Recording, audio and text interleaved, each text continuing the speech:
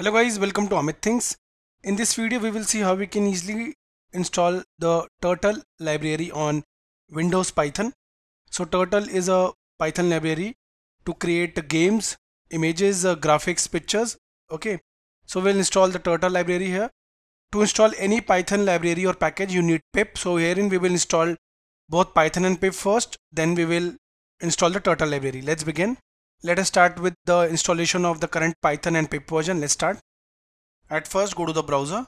I'm using Chrome. You can use any browser. Here in type Python. Press enter.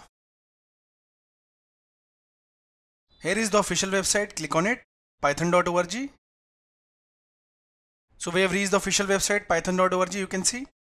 Keep the mouse cursor on downloads and uh, you can see the official version for Windows 3.10.7 is visible directly click on here to download it will download. It's only 27 MB so we have successfully downloaded the exe file the installer file. Double click on it to install. Minimize this. Now the setup started. Here and at first remember to set the path that is select the checkbox add python 3.10 to path.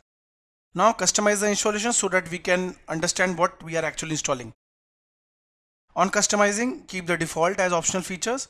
Herein we will also install pip. pip is used to install and manage Python packages. So it will be useful for you in the future to install any to install any Python library or package. It will also install the IDLE. IDLE is an ID to run Python programs we will run later. Keep the default and click on next. Herein under advanced option click on install for all users. On selecting you can see it will set the path for installation. You can change the location from here the path location from here but keep it as it is okay? It will also set your python to environment variables add add python to environment variables. Click on install now. Now the setup started.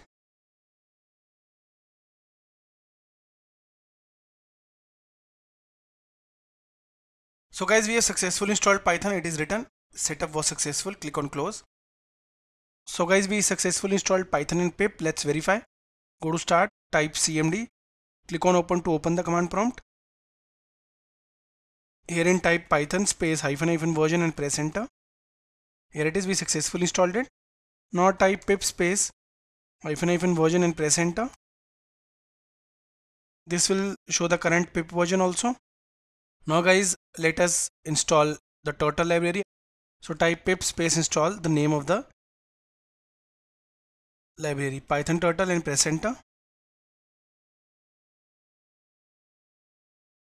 so guys in this video we saw how we can easily install the turtle package library on windows python. Thank you for watching the video